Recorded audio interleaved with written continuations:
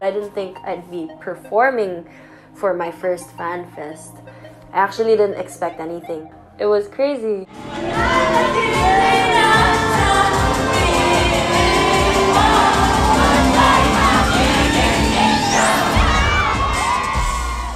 Hi, my name is Lesha, and I'm an electronic alternative artist based in the Philippines.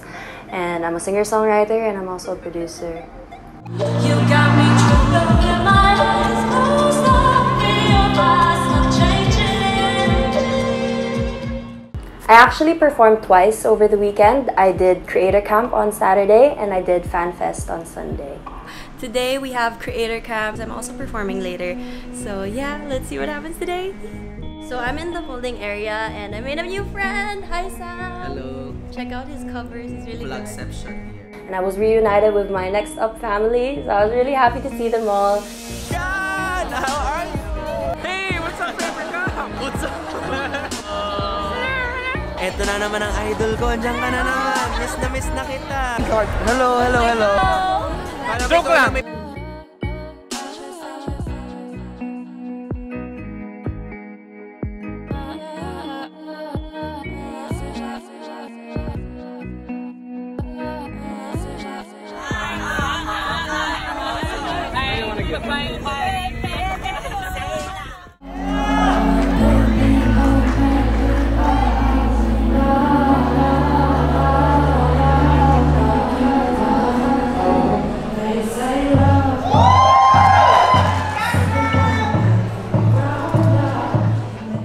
Was just a really big reunion for us again. So we are currently on the way. This is my sister. Hi. We're on the way to YouTube Fan Fest. I'm gonna be sound checking at 11. It's currently 9:30. So yeah, I'm really excited. It's my first Fan Fest. This is actually my first YouTube Fan Fest. I've never been to one. I, I never got the chance to go to any because it always runs out of tickets. But I've always dreamt of performing on the YouTube Fan Fest stage. Ready for Fan Fest? Yeah! Ngayon ba yun? What are you guys gonna be doing today? We're gonna dance and we're gonna sing. Wow. And we're gonna do a skit. wow! Concert level. Lahat. Yeah, yeah main stage. eh. What? How about you? Are you are you excited? Are you nervous? Nervous. I'm always nervous. You're pero always nervous. But Carrie. you're always doing good. Thank Grabe, you. sobrang idol ko to. Next Ikaw time, idol ko. yeah, I wanna produce a music with her. Gawa tayo song. Yes, please. Yes. And We just got inside MOA Arena. Really excited. I bumped into Ben, Kyo, and Lui outside. And yeah, everyone's so ready. Wait, where do I go? Where do we go? Hello! White stuff!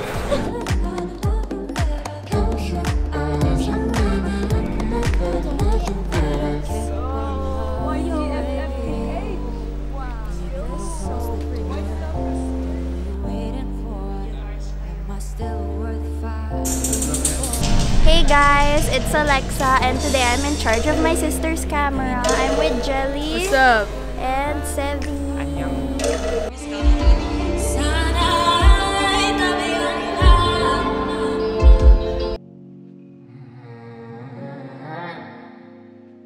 A week before FanFest, I was actually super, super sick. I had the flu, I had a fever, I had really bad cold, really bad cough. So I was just in bed the entire week. I didn't really get to rehearse much. But the week before that, I got to rehearse at least once with Marxx and Alwyn. But right after that, I got so sick. I was so worried. I was like, oh my god, YouTube Fan Fest is on the weekend and I'm still sick. How am I gonna sing? I was really panicking over that week. I get really worried when I'm sick. I really wanna give my best performance. I wanna get lit with everyone in the crowd. I wanna jump up and down. And if I'm sick, I'm gonna be having a hard time to do that. And I wanna give everyone a great show. So I was like, no, I have to get well. I have to get well really quick. So we're currently backstage. We're preparing for the show later. I just finished sound checking and the queuing thing. It's really cold here. And Sevi's playing with my Switch. Super intense. If magkakaroon ka ng intro mo sa channel mo, ano yun? Your boy Gelly. Gaya-gaya ko na yun eh. Dali, or gaya mo yung akin. Para mabaya sa akin. It's your boy, Nakaboy, Sogaboy, whatever you wanna call me. you don't wanna call me. I actually met Alwyn and Marxx during my trip to Boracay, where I also performed for Cinco de Mayo around two weeks ago. So So they showed me their works and I was really impressed. So I was like, hey, why not join me perform at YouTube Fan Fest? It's happening in two weeks. And they were so game to do it with me. So I'm so happy that they actually got to perform with me on stage. We're now backstage and check it out. Yo, all white and all neon green. LCM. So we're just lit. Lit unit. Eh. We're Alexa lit and shit, you know what? They're super solid. Alwyn does the lead guitars, and Marxx is a DJ and producer, and he also did the live drum pads and synths for my performance during FanFest.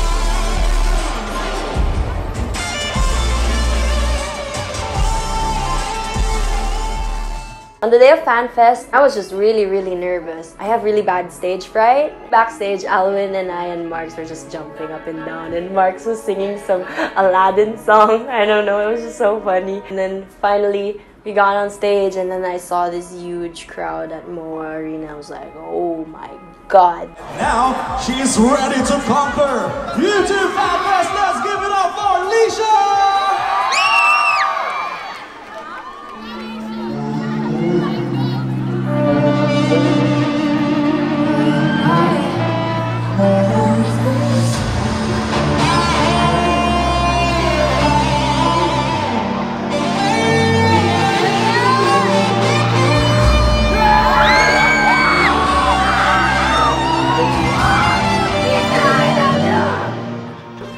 Such a huge crowd.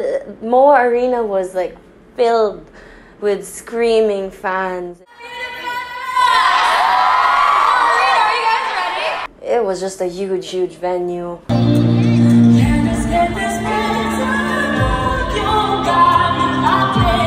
I was actually surprised that people knew the lyrics to my songs, so they were singing along to Bite and Bury with me. And I wanted to perform a cover during my set, so we decided to do a mashup of Buwan and Mundo.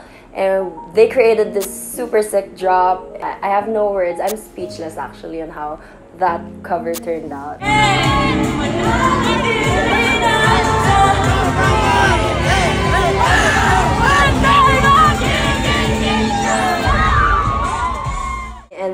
Jumping up and down during Buwan and the Mundo mashup, and it was just a lot of fun.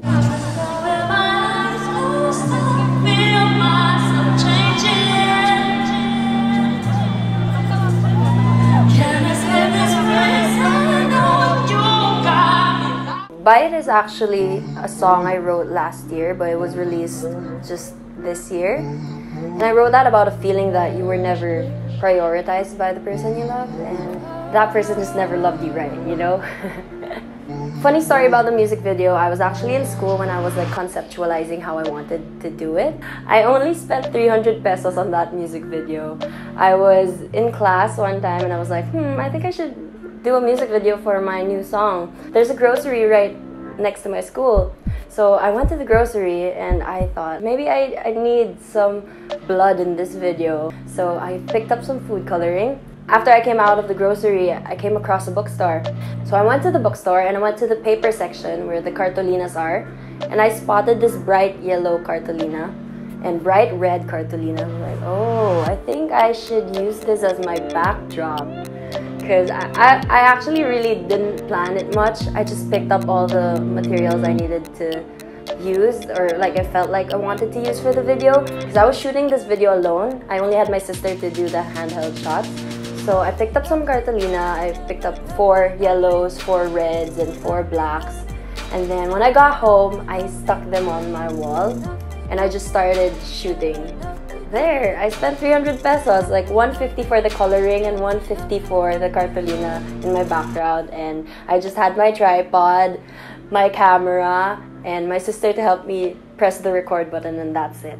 So that's how the music video actually came along. And it took me around three days to edit it, and I uploaded it right after. I was so proud of how resourceful I got with that video.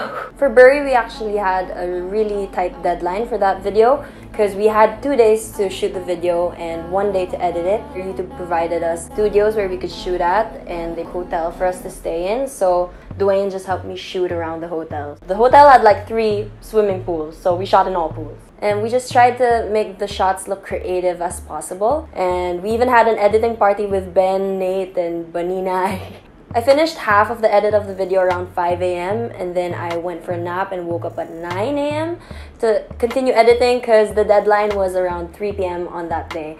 That exercise actually challenged me to be more creative and more out of the box in how I could shoot, edit, and make my videos. And that's what inspired the 300 peso music video of Bite. I was watching my footage of the entire show. I was like, okay, I actually made those visuals behind me myself. That was a proud moment for me. So, we are completely done with the YouTube Fan Fest. Ay, wait, ano ba? Ba't niyo ako pinagtatawan? okay, pinagtatawanan nila ako. This, this is my second take. And di pala naka-record. But yeah, we're done with the YouTube Fan Fest. It's been a successful weekend. Ah, ah, ah, ah. Ay, wala. Ikaw mas magaling. Buong ano, buong screen. Lesha. Ganun. See ya. Love and Gaga Hollowberry. Galing mo! I had my family with me my mom, my dad, my sister, and I had my best friends Gelly and Sevi with me. They actually helped shoot my vlog, so thanks to them for that, and my sister also. Right after my performance, I wanted to see my friends that came by to watch me perform. The moment I step out of the backstage, these fans start running to me and they start asking for my photo. I was like, You want a photo with me? Why? oh, it was a really new experience for me to be mobbed by so many people. But it was really, really fun meeting all of these fans. I had such a fun time talking to them, getting to know them, taking photos with them. I love them. It was just, wow, okay. These people love my music. They support me. Wow. And there was this girl, she came up to me and asked for my autograph. And I was like, I don't really know what to put in autographs. Isn't isn't it just like a sign or something? So I signed my name and I was like, I looked at the other paper and I think she had it signed by someone else. And there was this like really long letter to this fan. I was like, um, stay lit! Exclamation point. I was like, heart, Lesha. I love using the word lit because lit is actually taken from my last name, Litonjua. Yeah, people actually have a hard time saying my last name, so that's why my username on Instagram is just Lesha Liton because people really mess up the J-U-A. And my family and I actually have a group chat and it's called Lit Fam, so that's where I got the Lit Fam from. Like my supporters actually picked that up and they call themselves the Lit Fam. And for the show, a lot of my friends actually took time to go there to watch me. So I want to thank them for being there. I was so happy to see them all. And they were just like in the crowd cheering. And they were just raising the flashlights on their phones. And it was just really fun to have my support system with me at one of the biggest moments of my life so far actually because it's freaking MOA Arena.